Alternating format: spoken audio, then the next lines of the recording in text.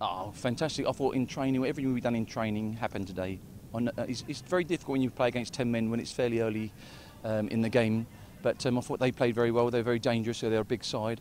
But I thought we fully deserved it, really. I thought, um, if, like I said, what we've done in training was good. You take on Lion City Sailors next. What do you think will be the key against one of the best teams in the league? Oh, I said before, we're going to try and put another player on the pitch, maybe play with 12 players, not 11. Um, because again, they're a good side. But I'm not, I'm not, at the moment. I'm not worried about them at the moment. We, you know, um, you've got to enjoy your wins. We don't win very often, so we've got to enjoy our wins now, um, and then worry about that tomorrow um, when we wake up in the morning. Coach, considering you were a man down for most of the game, how would you look at today's result?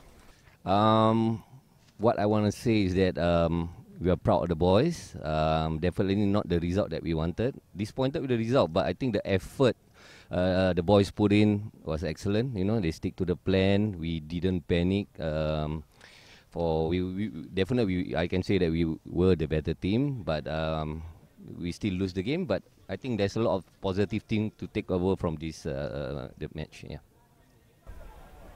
What was the discussion like during the halftime break as your players came back in fighting in the second half?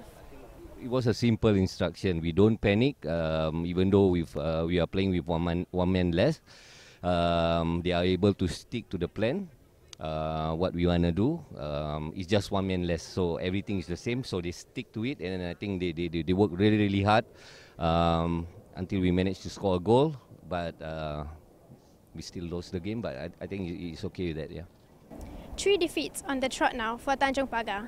Need some quick fixes, coach? No, not not really. It's just the start of the second round. Uh, we still have more games to come. Uh, we don't have to push the panic button. I think we are still in it. Um, we just have to, you know, uh, win the next few games. We will be okay. Yeah. Uh, look, obviously, you know, it's always good to get man of the match, but um, as I, you know, obviously, you know, I was looking for the three points, and it's always, it's always better to to get um, the three points than, than my personal performance. I thought us boys played really well. You know, we with ten men especially. Uh, we kept the ball quite well. Uh, we didn't, didn't actually feel like we had 10 men, but at the end of the day, if we don't take our chances, you know, that's that's at the end of the day, three points. We didn't get it. So yeah, credit to the to the DPMM lads.